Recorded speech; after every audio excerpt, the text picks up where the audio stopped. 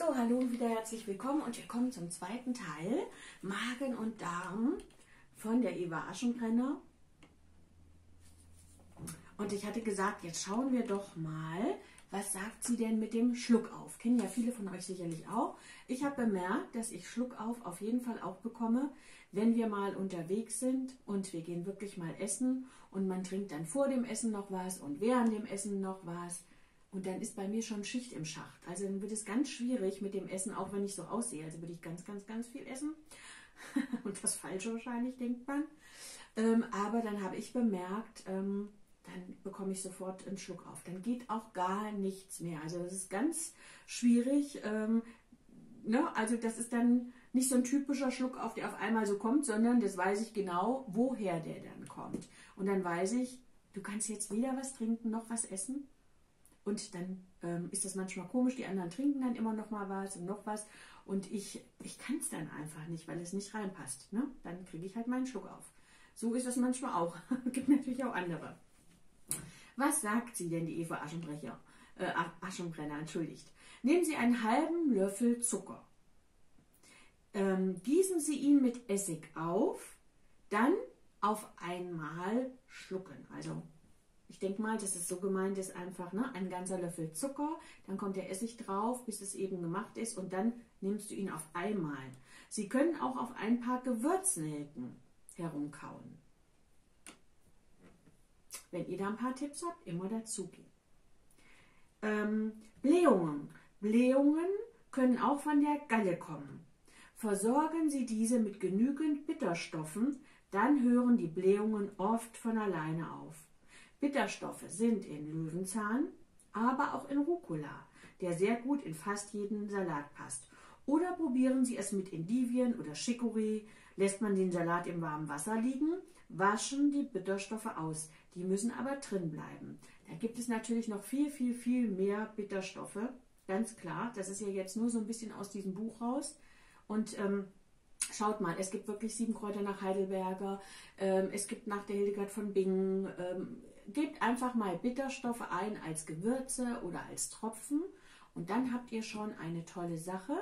Und natürlich ist es so, das zeige ich euch beim nächsten Mal auch, das, was ich im Frühjahr angesetzt hatte, beziehungsweise bis in den Sommer rein, ähm, in äh, 38-prozentigen Alkohol, alles, was im Garten immer so essbar ist und wächst, ähm, das habe ich reingemacht. Und das ist so eine Art auch Bitterkräuterschnaps dann.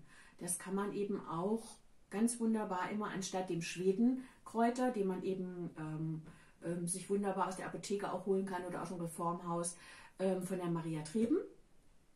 Ähm, und dann weiß man, was das macht. Das ist wirklich eine tolle Sache. Aber auch dazu habe ich ja ähm, Filmchen gemacht. Dann kommen wir mal zum Darmbluten, Morbus Crohn. Und da sagt sie, versuchen Sie es mit äh, Blutwurztinktur. Das hat sie gleich beschrieben, das zeige ich euch dann gleich. Achten Sie auf eine ausgewogene Ernährung. Meine Empfehlung, trinken Sie auch keine süße Limonade oder Cola. Und natürlich, es gilt immer für alles, natürlich gehen Sie immer zum Arzt, ganz klar. Und dann will ich mal gucken, was sie hierzu da geschrieben hat. Die Blutwurz. Guckt mal, das ist diese Pflanze. Also holt euch das in der Apotheke, da wo ihr könnt. Wenn man sich da unsicher ist, seitdem man hat sie im Garten und man weiß genau, wie man damit umgeht. Ähm, so, wartet mal. So, jetzt kommen wir zu dem Blutwurz. Wie setzt man das an? Stellen Sie eine Blutwurztinktur so her. Dazu benötigt man etwas getrocknete, zerkleinerte Blutwurz, die Sie also in der Apotheke kaufen würde. Füllen Sie die trockenen Wurzelteile etwa 2 cm hoch in ein Marmeladenglas und gießen Sie mit klarem Schnaps auf. Schon am nächsten Tag beginnt der Schnaps rot zu werden. Schütteln Sie das Ganze in den nächsten zwei bis drei Wochen immer wieder durch. Und dann ist das Heilmittel anwendungsfertig. Die Blutwurztinktur kann man, wenn sie runtergedrungen ist, nochmal ansetzen. Dann ist sie zwar nicht mehr so stark, hilft aber immer noch gut. Bei Zahnfleischbluten und lockeren Zähnen nehmen Sie abends ein Löffelchen in den Mund und lassen Sie die Tinktur so lange wie möglich drinnen. Ziehen Sie die Flüssigkeit zwischen den Zähnen durch. Sie adstringiert, also sie zieht dann alles zusammen. Wer will, kann sie bis zum Schluss, äh, kann sie auch am Schluss raus äh, runterschlucken oder aber, also wenn ihr die durch den Mund zieht, dann ist das so, das wird richtig, das zieht richtig doll, das kann auch ein bisschen wehtun. Und dann könnt ihr das immer hin und her spülen, entweder spuckt ihr das aus oder wie gesagt eben, ihr könnt es runterschlucken. Ähm, eine Kollegin meines Mannes stand hier, der die Tuba geblasen hat, dem wurden die Zähne locker und er sagte, du Asche, also dann abgekürzt für die Aschenbrennerin, ich habe keinen Druck mehr drauf. Die unteren Zähne sind locker. Da habe ich ihm meine Blutwurztinktur gegeben und die Zähne haben sich wieder gefestigt. Und jetzt kommen wir zum Morbus Crohn. Ein Mann berichtete mir, dass ihn diese Tinktur auch bei Morbus Crohn unterstützt hat. Morbus Crohn ist eine Krankheit, bei der man sich unbedingt in ärztliche Obhut geben muss. Ich empfehle ein Löffelchen der Tinktur vormittags und abends. Der Löffel abends ist wichtiger, weil er dann natürlich nachts arbeiten kann. Natürlich muss man aber auch gleichzeitig die Ernährung umstellen und insgesamt zu einer gesunden Lebensführung kommen. Ansonsten hilft kein Heilmittel. Ich kenne eine Bäuerin, die verwendet die Blutwurztinktur auch bei Kälberdurchfall und es passiert ihr immer wieder, dass die Kälbchen ihr schon freudig entgegenlaufen, wenn sie mit der aufgezogenen Pipette in den Stall kommt. Na, die wissen eben, was hilft. also was dem Tier hilft, hilft dem Menschen nicht immer. Man muss auch ein bisschen aufpassen, aber das ist gut. Hier haben wir es also mit der Blutwur äh, Blutwurztinktur zu tun. Guckt mal, so sieht die dann aus, wenn ihr die macht.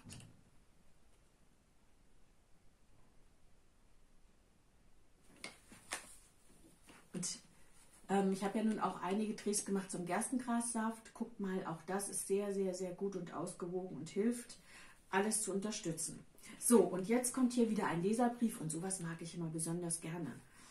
Sehr geehrte Frau Aschenbrenner, die Diagnose Darmpilz bekam dann die Medikamente, so abgekürzt geschrieben. Ne? Mir ging es dann wieder besser. Sobald die Kur mit den Medikamenten beendet war, ging alles wieder von vorne los. Koliken und Erbrechen. Gespräche mit Selbstbetroffenen und Austausch von Medikamenten für kurze Zeit zeigten Besserung, aber dann war wieder alles beim Alten. Ich war oft sehr verzweifelt und traurig. Und dann fiel mir ihr Name ein. Ich hatte sie beim Pfarrer Fliege gesehen. Ich damals auch. Nach langem Hin und Her habe ich den Mut gefasst und bei ihnen angerufen. Sie gaben mir gute Vorschläge, die ich alle befolgte, bis auf die gelben Rüben. Und siehe, es besserte sich von Woche zu Woche. Und nach zwölf Wochen bin ich wie neugeboren. Es kluckert zwar noch ab und zu im Darm, aber alle Schmerzen sind verschwunden. Ihr Sechser-Tee sowie der Wintertee Retterspitz und ihre guten Sachen aus der Schmankerlküche haben mich wieder gesund gemacht. Liebe Frau Aschenbrenner, ich möchte mich bei Ihnen nochmals recht herzlich bedanken und ich hoffe, dass Sie uns noch recht lange erhalten bleiben. Also auch das wieder spannend, wenn die Menschen sich bedanken. Und es ist, wie es ist, auch da ist es wieder so, nicht alles hilft jedem. Jeder ist ein bisschen anders, aber schaut, dass ihr euer Rundumpaket gut macht, dass ihr helft dem Körper mit dem Vitamin D und dem, was alles dazugehört, ähm, dass ihr da einfach mal drunter schaut, dass ihr euren Körper unterstützt. Aber es ist schon sehr interessant, dass es doch immer wieder, wenn die Medizin es nicht schafft, etwas zu heilen, und das schafft ähm, äh, die Medizin ja nicht immer. Ne? Sie unterstützt und sie bringt sicherlich auch mal was weg, aber ob sie etwas aushält, ist eine andere Sache. Deswegen ist die Natur ins Boot zu holen, langsam und vorsichtig, ähm, das kann, glaube ich, nie verkehrt sein. In diesem Sinne denke ich, das war nochmal so ein kleiner Quickie, ich nenne diese kurzen Dinge dann immer mal Quickies, ähm, was man dann alles so machen kann, so kleine kurze Ratschläge kann man auch immer wieder lesen mal, aber da könnt ihr ja mal selber drauf schauen. Und wie ich schon erzählt hätte, gerade bei Durchfall, es gibt auch ganz viele Menschen mittlerweile, da können die Ärzte nichts feststellen, dann ist es kein Morbus Crohn und es soll kein Leaky Cut sein und nichts anderes. Und trotzdem haben die Personen Durchfall immer und immer wieder, den ganzen Tag über. Und das bekommt man wirklich ähm, mit dem hochdosierten Vitamin D, also da kann man es, da muss ich immer vorsichtig sein, ähm, das haben wir alles ähm, selber erlebt. Ähm, damit kann man ganz viel wieder in Ordnung bringen. Also vielleicht schaut ihr immer mal ein bisschen weiter, müsst ziemlich weit runter scrollen, ich weiß, aber da stehen noch mal ganz viele wunderbare Dinge. So, das war noch mal ein kurzes von der Eva Aschenbrenner und die Kräuterapotheke Gottes.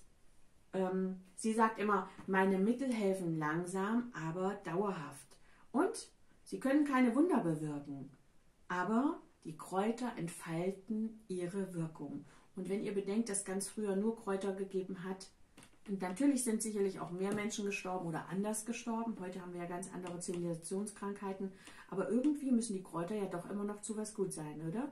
Unsere Kräuter, unsere ganzen Gewürze, unser Obst, unser Gemüse hm. Und gutes Wasser. Das ist eigentlich ja das Geheimnis, oder? Auf das man immer gut Acht geben muss, gute Dinge zu sich zu nehmen. In diesem Sinne, ich hoffe, wir sehen uns wieder. Bleibt dabei. Es geht noch ein bisschen um den Darm und bleibt gesund oder werdet gesund. Ciao.